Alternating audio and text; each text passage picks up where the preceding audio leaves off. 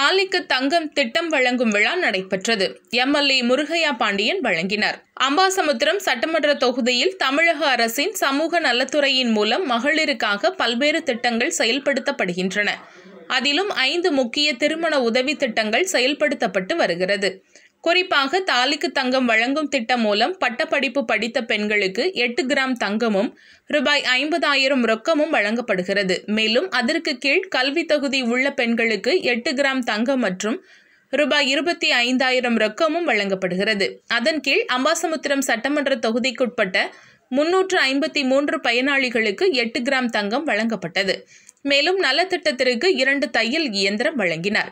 இதில் அம்பை ஒன்றிய செயலாளர் விஜய் பாலாஜி என்ற துறை ஒன்றிய துணை செயலாளர் பிராங்க்லின் ஊராட்சி செயலாளர் மாசானம் சேரை நகர செயலாளர் பழனிக்குமார் வி. கேபுரம் நகர செயலாளர் கண்ணன் இலக்கிய அணி மாவட்ட செயலாளர் கூனியூர் இலக்கிய அணி மாவட்ட செயலாளர் கூனியூர் மாடசாமி அம்பை நகர கழக செயலாளர் அறிவழகன் முன்னாள் துணைத் தலைவர் மாரிமுத்து மணிமுத்தாறு நகர செயலாளர் ராமையா அம்மா பேரவை நகர செயலாளர் Balasubramanian we. கேபுரம் Arun mini super market தலைவர் சங்கரலிங்கம் தலைமை கழக பேச்சாளர் மின்னல் மீனாட்சி மற்றும் அதிமுக கட்சி நிர்வாகிகள் பலர் கலந்து கொண்டனர். மேலும் Ambasamudram BDO A. K. Mani மற்றும் விஜயசெல்வி சேரன் மகாதேவி பிடிஓ சங்கரகுமார் மற்றும் முத்துகிருஷ்ணன் ஆகியோர் கலந்து கொண்டனர்.